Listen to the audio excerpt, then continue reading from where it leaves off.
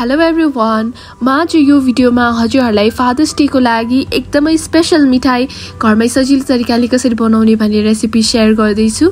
यो मैले मखाना युज गरेर बनाएको हो मखाना बर्फी। एकदमै मिठो हुन्छ। यो मखाना हेल्थको लागि पनि एकदमै राम्रो हुन्छ। हजुरहरूले यसलाई अझै हेल्दी बनाउने हो भने चाहिँ चिनीको ठाउँमा ज्यागरी युज गरेर यसलाई हेल्दी बनाउन सक्नुहुन्छ। बनाउनु पनि एकदमै सजिलो र खानामा पनि एकदमै मिठो छ। हजुरहरूले यदि मखानाको बर्फी बनाउन ट्राई गर्नुभएको छैन भने हजुरहरूले एकचोटि यो रेसिपी ट्राई गर्न सक्नुहुन्छ।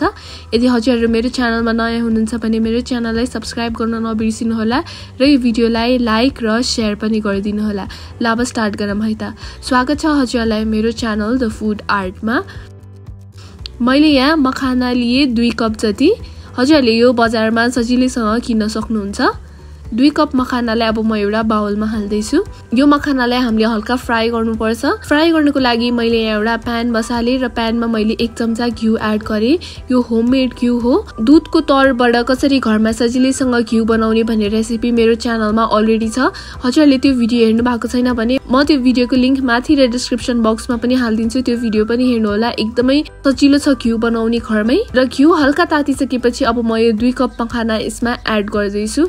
हामीले यसलाई मिडियम फ्लेममा हल्का फ्राई गर्नुपर्छ। फ्लेम चाहिँ हजुरले मिडियममै हाल्नुहोला अथवा लोमा हाल्नुहोला हाईमा चाहिँ नहाल्नुहोला फेरि डढ्नु सक्छ। भिडियोमा देखाए जसरी यसरी बिस्तारै बिस्तारै चलाउँदै हामीले यसलाई फ्राई गर्नुपर्छ। हामीले यो यसरी प्रेस गर्दाखेरि चाहिँ हल्का यसरी मजाले फुट्ने हुनुपर्छ।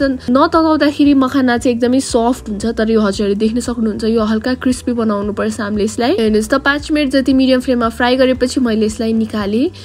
र यस्तै यो भइसकेको छ मैले यसलाई निकालेँ। अब त्यही प्यानमा म चाहिँ यहाँ हाफ कप जति नरिवलको पाउडर युज गर्दैछु। हजुरले ड्राई नरिवललाई ग्रेड गरेर पनि एड गर्न सक्नुहुन्छ। मैले चाहिँ यो पाउडरवाला नै किनेको हो। यसलाई पनि हल्का दुई तिन मिनट चाहिँ मजाले हामीले यसलाई यसरी हल्का तताउनु पर्छ। हेर्नुहोस् यो यतिको भइसकेपछि यो पनि रेडी भयो। अब हामी चास्नी बनाउँछौँ। चास्नी बनाउनुको लागि मैले सेम प्यानमा हाफ कप पानी हालेँ। त्यस्तै गरी जति पानी लिनु भएको छ त्यति नै अमाउन्टको चिनी पनि लिनुहोला। हजुरहरूले चिनीको मात्रा बढाउन नि सक्नुहुन्छ अथवा घटाउन पनि सक्नुहुन्छ। हजुरहरूले चाहिँ चिनी खानुहुन्न भने हजुरहरूले यो गुडमा पनि बनाउन सक्नुहुन्छ। र त्यस्तै गरी सानो चम्चाको आधा चम्चा चाहिँ मैले यहाँ सुकुमेलको पाउडर पनि एड गरेँ। यसले एकदमै मिठो फ्लेभर दिने भएकोले मैले यसमा एड गरेँ।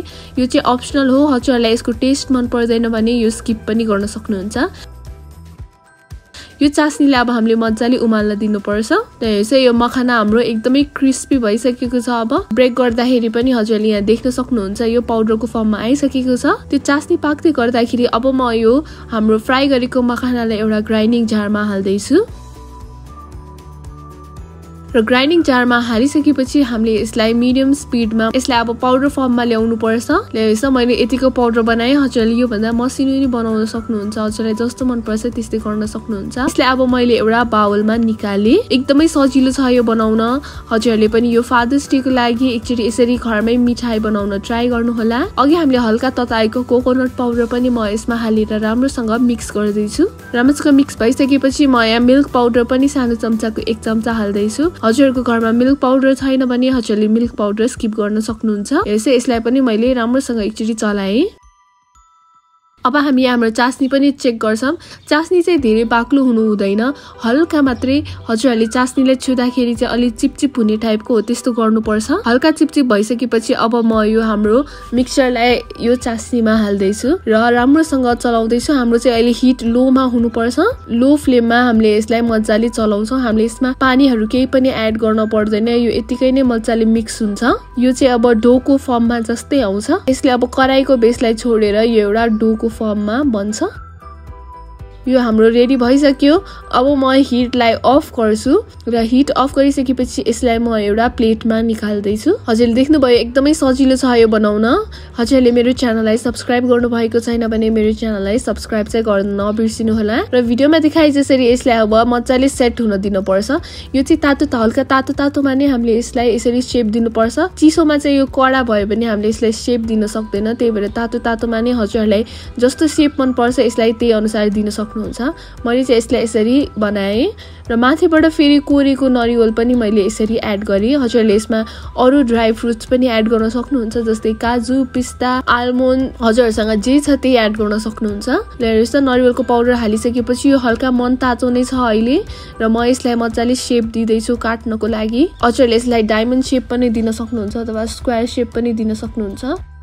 मैले चाहिँ यसलाई यसरी काटेँ। हल्का तातोमै काट्नुपर्छ चिसोमा चाहिँ काट्न अलिक गाह्रो हुनसक्छ। त्यही भएर हजुरहरूले यो काटेर चाहिँ मजाले यसलाई आधा घन्टासम्म सेट हुन छोडिदिने। यो साइड साइडबाट काटेको पनि हजुरहरूले पछि चाहिँ यसलाई जस्तो सेप दिँदा पनि हुन्छ। मैले चाहिँ यसलाई यस्तो सेप दिएँ। हेर्नुहोस् त कति सजिलो छ यो बनाउन र टेस्टमा पनि एकदमै नै मिठो छ। हेर्नुहोस् त यो मजाले मैले यसलाई काटिसकेँ र यसलाई अब निकाल्नखेरि निकाल्दाखेरि चाहिँ हजुरले बिस्तारै निकाल्न पर्छ। हजुरहरूले प्लेटमा चाहिँ थोरै घिउ लगाउनु भयो भने पछि चाहिँ निकाल्न सजिलो हुन्छ। हेर्नुहोस् मैले यसलाई सबै निकालिसकेँ हेर्नुहोस् यो मखाना बर्फी बनाउन कति सजिलो छ र टेस्टमा पनि एकदमै मिठो छ। एकदमै छिटो पनि बन्छ र टेस्टमा पनि मिठो। हजुरहरूले पनि यो फादर्स डेको लागि घरमा यसरी नै मखाना बर्फी एकचोटि बनाएर ट्राई गर्नुहोला र इन्जोय गर्नुहोला। यदि हजुरहरूलाई आजको यो भिडियो मन पऱ्यो भने मेरो च्यानललाई सब्सक्राइब गर्न नबिर्सिनुहोला र यो भिडियोलाई लाइक र सेयर पनि गरिदिनु होला थ्याङ्क यू हजुरहरूले यो रेसिपी ट्राई गर्नुभयो भने चाहिँ कस्तो बन्यो भनेर तल कमेन्ट सेक्सनमा चाहिँ लेख्न नबिर्सिनु होला थ्याङ्क यू